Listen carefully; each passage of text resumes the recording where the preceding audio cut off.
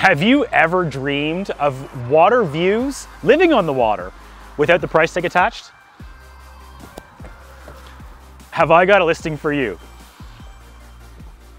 This house has a quaint living room, a window seat for reading a book by the cozy fireplace,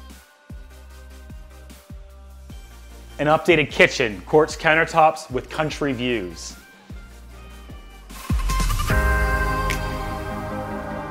Picture yourself enjoying your first sip of coffee in the updated sunroom.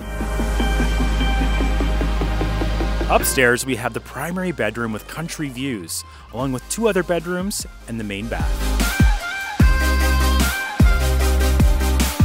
This picturesque country property boasts six acres of land, so every season is a postcard.